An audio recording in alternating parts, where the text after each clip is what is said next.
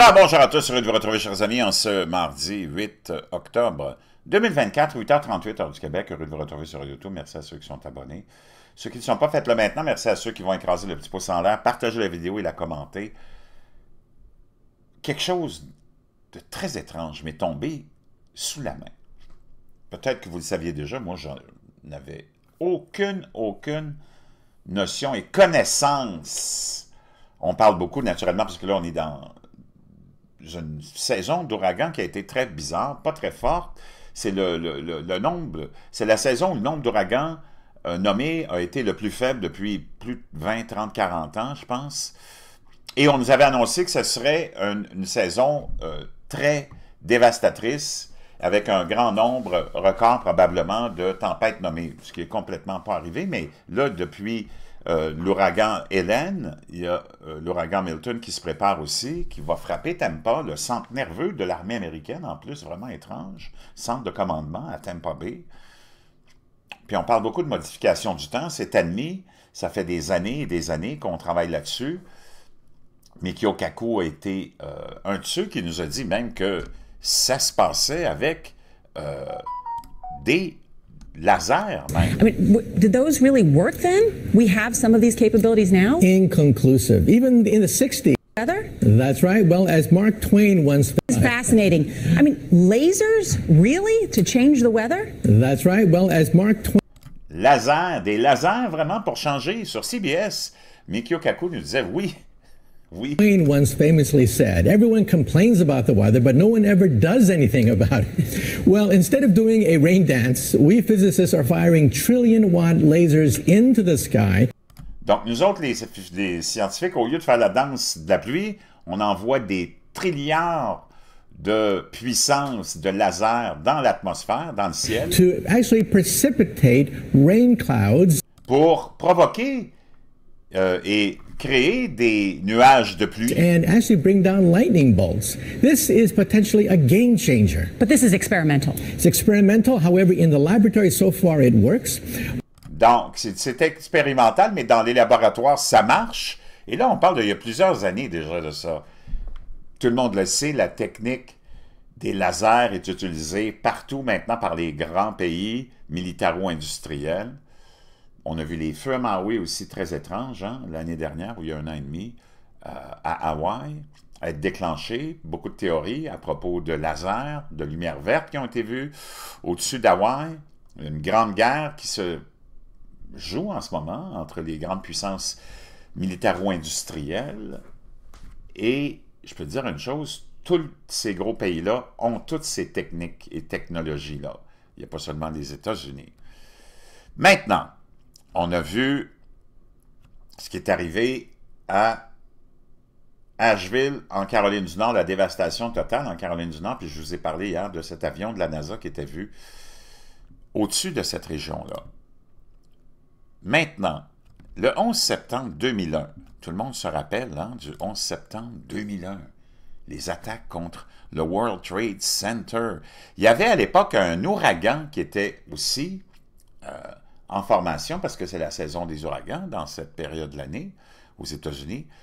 Et c'est cet ouragan Aaron qui devait aller frapper la côte Est et New York inclusivement un beau matin du 11 septembre 2001. Et qu'est-ce qui est arrivé? Ben, le fameux ouragan en question. Ça, c'était le ciel le 10 septembre. 2001. La veille du 11 septembre, on s'attendait à ce que le fameux ouragan Aaron touche la côte scattered showers.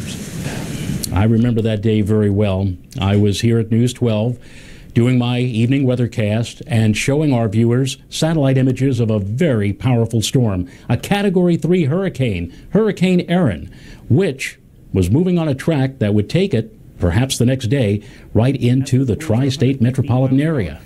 Donc, ça, ça devait, ça c'est le, ça c'est le, l'homme météo qui était à une chaîne de télé dont j'ai oublié le nom, qui montrait la veille du 11 septembre les images satellites de cette tempête ou ouragan de catégorie 3 Aaron qui se dirigeait et qui devait toucher New York. entre autres, le 11 septembre. Notice also the movement. It's moving toward the northwest. And if it were to keep on moving, it would be heading right toward Long Island and southern New England, but it's not going to do that. But then I pointed out that the cold front that was moving through our area would ultimately push Aaron away from.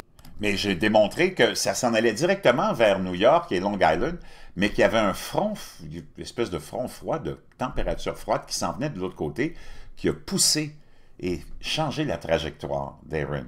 The East Coast will be turned around and moved to the north and northeast, out of the picture for us as uh, this cold front comes on in and through, and from all intents and purposes, just boom, kicks Aaron right on out. Et ce front froid ou ce, cet air froid, comme il le démontre un peu euh, de façon amusante avec son pied, va kicker hein, Aaron de notre direction. To see. I was actually happy to tell our viewers that we were going to dodge a major. J'étais vraiment content de dire à mes téléspectateurs qu'on était, qu'on on évitait de justesse à New York ici cette, cet ouragan. Another bullet that the hurricane was going to veer away from the eastern seaboard, that September 11th was going to be a beautiful day, blue que le 11 septembre serait une journée magnifique, le 11 septembre 2001. Skies and bright sunshine. Un ciel bleu et un soleil brillant. In retrospect, maybe it would have been better if we had to deal with the hurricane. Il dit quand on fait une, on revient dans le temps, je pense que ça aurait été préférable qu'on ait cet ouragan qui nous touche. Parce que jamais tu aurais pu avoir ce qui s'est passé le 11 septembre s'il n'y avait pas eu un ciel bleu. The front moves through, less humid air moves in, and sunshine. You know, if that cold front had been just 24 to 36 hours slower than it was, the weather on 9-11 might have been much different than it turned out to be. Si ce front froid ou cet air froid qui est venu pousser Aaron avait été retardé de 24 à 48 heures, ben, on n'aurait pas eu ce qu'on a Well, there's no doubt if a hurricane had hit on 9/11, the situation would have been changed. Donc, c'est certain que si cet ouragan avait touché, nous dit ce météorologue, météorologiste, ben, l'histoire aurait changé. Bill Corbell is a broadcast meteorologist who began his career as a weather officer in the Air Force. And Donc, lui était un météorologiste pour la, les forces de l'air de l'armée américaine. C'est comme ça qu'il a commencé sa carrière. recently retired as a lieutenant colonel. The highlight of his military career was a two year stint as a weather forecaster for Air Force One. Corbell, who is a private pilot, believes that if Hurricane Aaron had moved into the Northeast on September 11th, it likely would have canceled numerous flights and. Et si cet euh, ouragan avait touché New York, ça aurait fait en sorte que plusieurs vols auraient été annulés. Presque la majorité des vols auraient été annulés. Prevented the terrorists from carrying out their plans. Et ça aurait probablement euh, changé les plans de ceux qui ont attaqué le World Trade Center. The hijackers, the terrorists needed certain conditions to fulfill what they wanted to do. Ils avaient besoin de certaines conditions pour accomplir ce qu'ils avaient à accomplir. And the weather just would not have allowed that.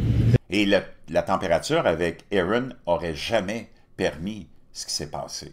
If a hurricane had hit New York on that day. Ironically, the beautifully pristine weather that arrived on the morning of September 11th actually helped the terrorists. Donc, naturellement, le beau ciel bleu, cette belle journée ensoleillée, a facilité la tâche de ceux qui ont accompli cette. They needed really good weather, which they got. That cold front just scoured the atmosphere clean. It was as clear as you recall and as blue as we have ever seen around here. So that allowed these uh, modestly competent pilot terrorists to see the targets and do what they had to do. If it had not been September 11th, it might have been some other date then that the terrorists would have chosen. But one thing that we are certain of if Hurricane Aaron had continued on its northwesterly course into the northeastern states and the tri state metropolitan area, the tragic events that have been burned into our collective memories and associated with the date, September 11th, might never have happened. Donc, vraiment, comme il nous le dit, ça aurait pu, si. Si Aaron avait frappé, peut-être qu'ils auraient agi une autre journée, les gens qui sont derrière ça, mais n'empêche que il est arrivé quelque chose de très étrange et est-ce que le projet Sirius aurait quelque chose à voir là-dedans?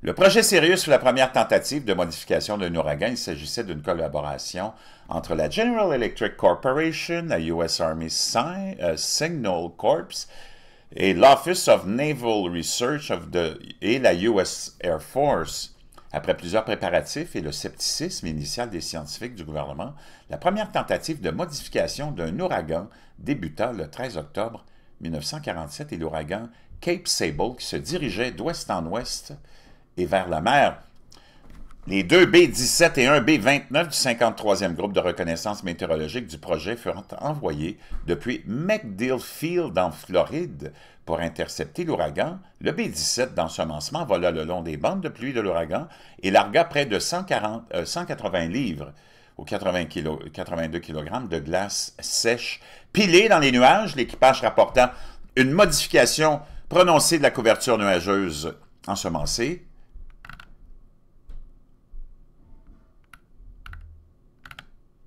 Et euh, je peux te dire une chose.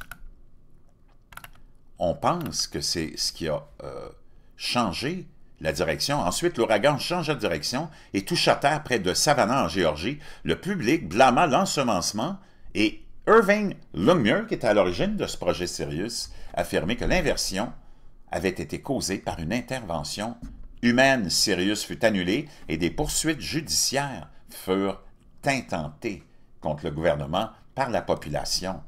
Wow! Je peux te dire une chose, on n'a pas fini d'en parler.